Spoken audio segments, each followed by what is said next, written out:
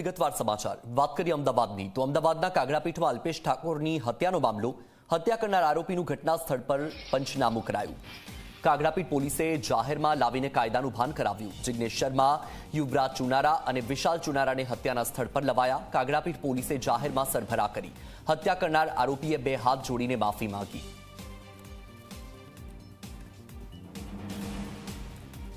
અમદાવાદના Kagdapith police station વિસ્તારની અંદર અલ્પેશ ઠાકોર નામના યુવકની હત્યા કરવામાં આવી હતી. હત્યાને લઈને સ્થાનિકોએ જે છે પોલીસ સ્ટેશનમાં ઘેરાવ કર્યો હતો. ઘેરાવ કર્યા બાદ અમદાવાદ ક્રાઇમ બ્રાન્ચે ત્રણ આરોપીઓની ધરપકડ કરેલી હતી. ત્યારબાદ જે છે આરોપીઓ કાગડાપીઠ પોલીસ સ્ટેશનને સોંપવામાં આવેલા હતા. તપાસ સાથે આપ દ્રશ્યોમાં જોઈ શકો છો આખરે કે કઈ રીતે જાહેરમાં લાવવામાં આવેલા છે આરોપીઓને શું કહી રહ્યા છે હવે કરશો આવું કરશો આવું કરી દઈએ. બાપ છે બીજું કોઈ નથી. ના ના સાહેબ. ઉતરી ગઈ ભાઈ તારી? ના ના સાહેબ. પોલીસ બાપ છે બીજું કોઈ બાપ નથી. એક જ બાપ છે પોલીસ બાપ? પહેલા ખબર નથી તમને? પોલીસ બાપ છે બીજું કોઈ બાપ નથી. ખબર પડી તમને બધી આવી. હા. હત્યા કરતા ત્યારે પોલીસનો ડર નતો. પહેલા ક્યાં કેલો ડર હે? પહેલા શેની ટણી હતી પોલીસ તો ડર નતો. હે ભાઈ?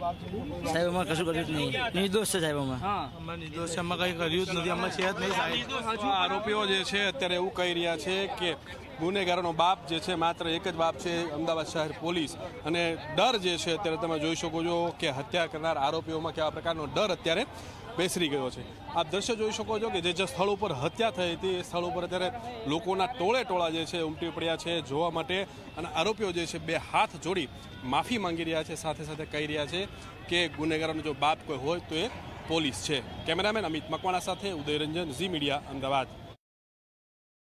આજે ત્રણેય આરોપી છે.